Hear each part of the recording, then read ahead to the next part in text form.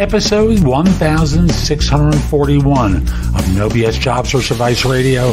I'm Jeff Altman, the Big Game Hunter, and welcome. I am beat to heck.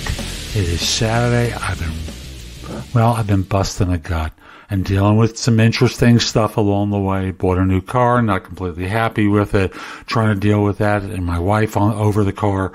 And, um, life isn't always easy. And I want to make this part of life easier for you. Today's show answers one of those questions I've heard a million times from job hunters. Do they really expect me to know all this stuff? Hope you find it helpful. Hope you give it a great review. Please give it a great review. It does make a difference. And with that, let's get going. Question I received from someone is Do companies expect people to have those big laundry lists of skills? Ooh, big laundry list. Have you ever seen a laundry list?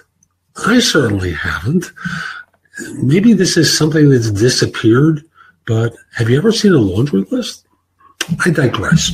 So the answer is yes. That's why the word requirements precedes it. It is required.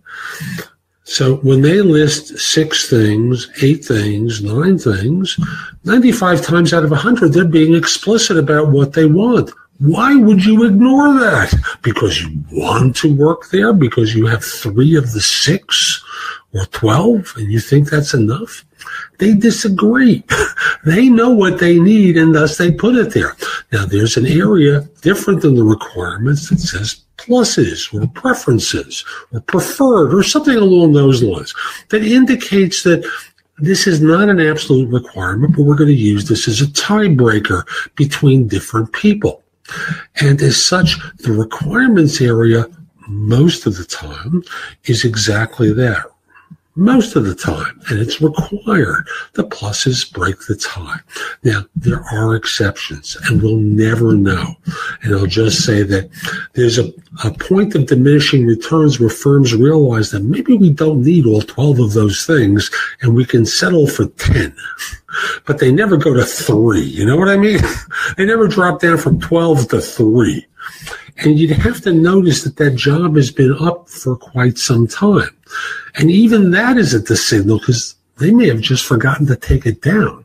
So the fact of the matter is, when a recruiter, when a company places an ad, they are trying to be as clear as possible about what the job is going to be like, and what is going to be needed from their vantage point for someone to be qualified to be hired.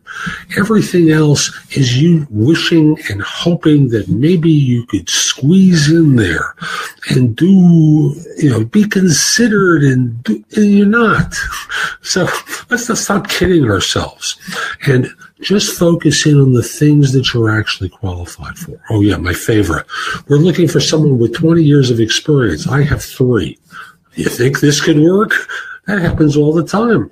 I, used to hate that in recruiting. People would just ignore what I had listed in an ad and say, I want to do this or I can do this uh, and submit their resume. Don't do it. You're just a spammer then. So that's today's show. I hope you found it helpful. And if you did, here are a few more ways to get more from me. First of all, at my website, which is thebiggamehunter.us, I have more than 7,000 blog posts there that you can watch, listen to, or read that will help you find your next job. While there, if you're interested in one-on-one coaching from me, you can schedule a session, either a discovery call or a coaching session with me by using the button on the home page that says schedule. You'll see a number of different options. If you just want to have a quick chat to see if coaching makes sense, use the discovery call option. If you want the best of my advice with an emphasis on interviewing, go to jobsearchcoachinghq.com where I've curated information with a focus on interviewing. If you decide to take a lifetime membership at the site, basically what I do is I give you the money back in the form of one hour of coaching with me that you can use as two 30 minute sessions. Thus, the site becomes free.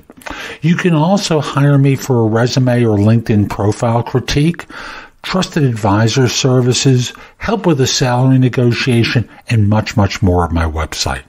Like you, I don't work for free. I do charge for what I do.